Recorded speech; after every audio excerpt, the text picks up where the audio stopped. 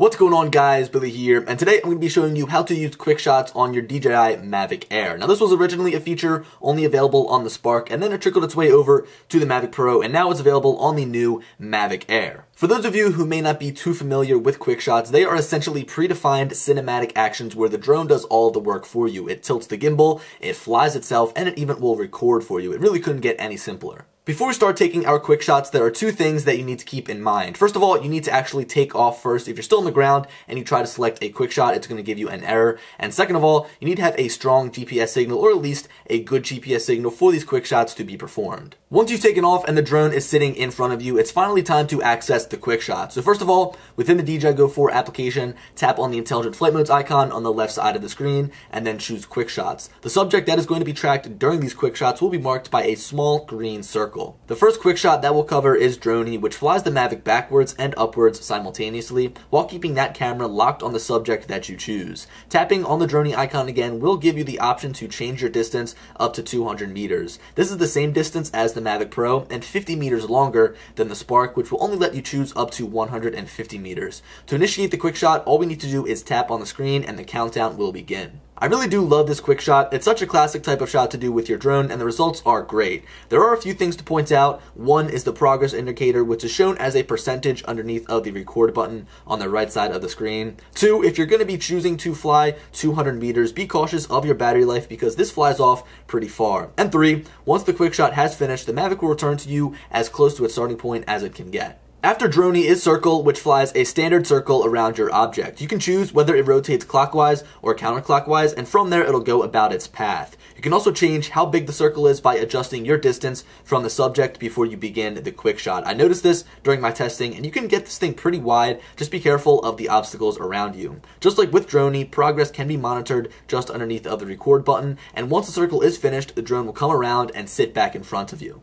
Again, this is a super simple quick shot that you could easily perform yourself, but the results are pretty cool. I myself would probably rather use something a little bit more dynamic, like Helix, which is the next quick shot that we'll be taking a look at. Now with Helix, the Mavic Air will fly a spiraling circle upwards and backwards so that the height and distance will increase simultaneously. Tapping on the Helix icon a second time will let you change the distance up to 150 meters and choose between a clockwise or counterclockwise rotation. This is probably my favorite quick shot again because of how dynamic the movement is. One thing I will note is that you need to make sure you have enough space because of how big the radius of the circle is, especially when you bump that up to 150 meters. I was so afraid to do this in the middle of the golf course that I was shooting on because of the trees in the way, but it does do a good job at increasing its altitude almost immediately to get above any obstacles like shorter trees that may be around you. Just like the quick shots before this one, you can monitor its progress underneath the other record button and it will make its way back to you once you've finished. After Helix, we have Rocket, which flies straight upwards with the camera pointed straight down.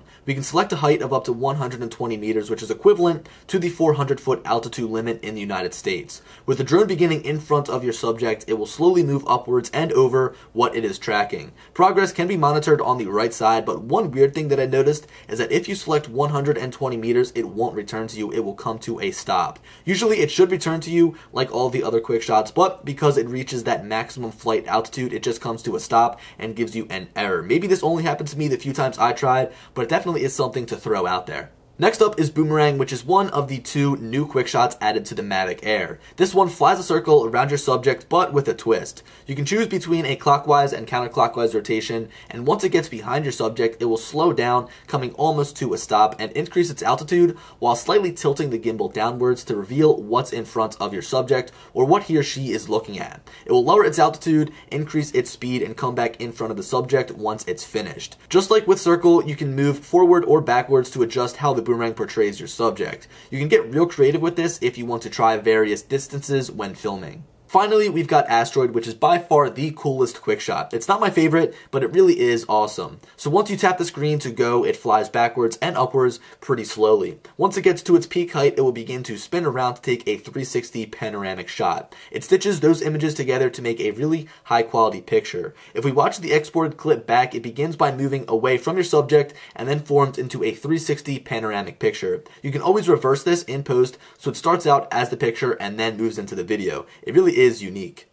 So guys, that wraps up this tutorial for quick shots on the Mavic Air. But before I end this video, I quickly want to mention a few more things. So first of all, I really wish that on the Mavic Air, or really any drone that could use quick shots, it would allow you to select when you want to start recording and when you want to stop recording, rather than the drone itself telling you when it's going to start recording, when you start that quick shot, and then it stops recording at the very end. It would really make editing a lot easier. Overall, I think these quick shots are not really customizable. They're kind of there for you to use and you can change the distance and stuff like that. But again, I really wish it was just a little bit more customizable. Finally, I want to give you a quick tip regarding video resolution. So every single time that you go and select quick shots, it's going to default to 1080p, but if you go into the camera settings and select 4K, it will shoot these quick shots in 4K. It's something I learned towards the end of testing, so not all the quick shots in this video were shot in 4K, and it really is a pain in the ass, like every single time you go to actually select a quick shot, you've got to reselect 4K, but at least they didn't limit these quick shots to 1080p, and you do have the option to shoot in higher resolutions. But guys, be sure to leave me a comment down below letting me know what you think